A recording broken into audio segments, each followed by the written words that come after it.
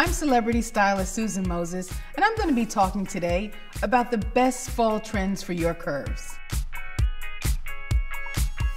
The fall trends really vary. There's some really great pieces that are trending this fall. Leggings are back, peplums. The sweater is a must have. All types of knits on the runway, and there's never a shortage of the greatest neutralizer and my favorite color, black.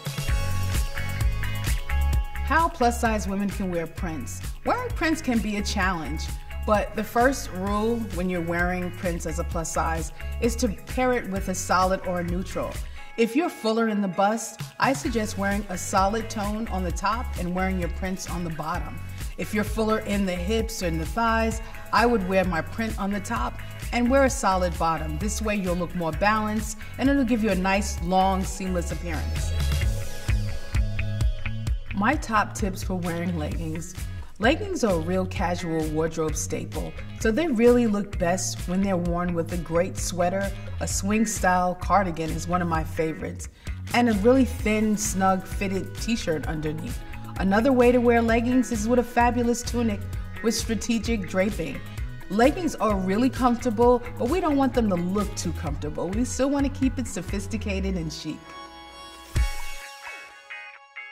My favorite thing to do with a sweater is belt it, especially if the knit is not too thick. And the width of the belt is determined by how dense the sweater is. Another great trick is to layer a sweater. Put a thin t shirt on, something that's really snug and fit to the body. But there are really, really a lot of ways that you can wear the different sweater trends this season. Why is black such a popular color for this fall?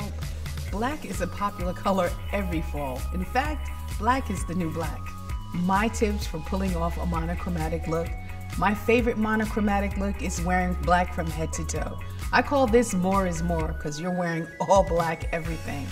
But the best way to wear it is to mix textures, great statement jewelry and mixed metals, gold or silver, and a really great pair of shoes. The key to a fabulous fall look will always begin with great underdressing.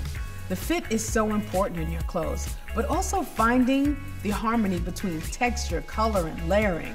Finding the pieces that make you happy, that make you smile. That's the key to a great fall style.